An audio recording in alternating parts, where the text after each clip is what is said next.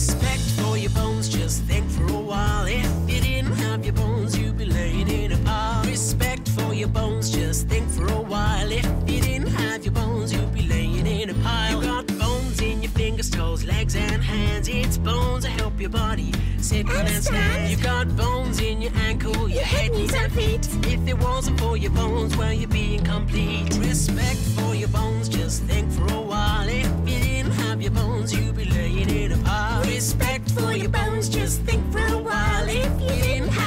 bones, you'd be laying in a pile. Take care of those bones, your bones are made to last. And if you break a bone, you have to wear a cast. Some are made of fiberglass, some are made of plaster. But every cast will help your bones heal a little faster. Respect for your bones, just think for a while. If you didn't have your bones, you'd be laying in a pile. Respect for your bones, just think for a while. If you didn't have your bones, you'd be laying in a pile.